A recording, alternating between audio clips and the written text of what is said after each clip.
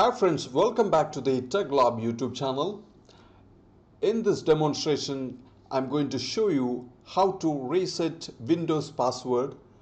So in this case, what I'm going to do, on the right side of corner, you will see the internet, ease of access and power button. And I'm going to click the power button to restart this computer and before that on the keyboard you need to press shift key and click on the power button and select restart. And this window is going to restart. Now as you can see you will get this three options. Okay continue troubleshoot and turn off your PC so I'm gonna select the second option troubleshoot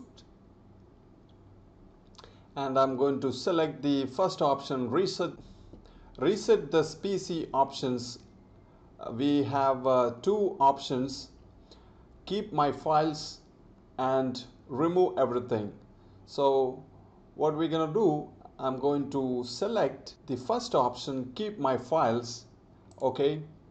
So this settings will reset our PC and our files saved in the desktop in one folder and this is the computer name. Click the client one. And here is asking for the password. I'm gonna type the password and continue and click. And this option uh, I'm gonna select local reinstall. Now the system is getting things ready. You have to wait until the completion. Finally reset. Now the system is resetting. So this will take and here also it will take some time. Please wait. And after the restart so I'm gonna log in password.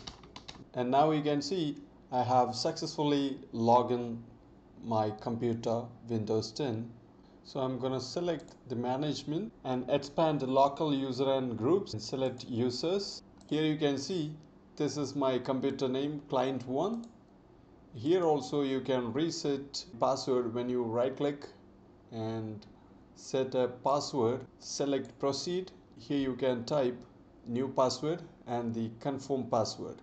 Then click ok. The password will reset. And these are the way how to reset your logon password.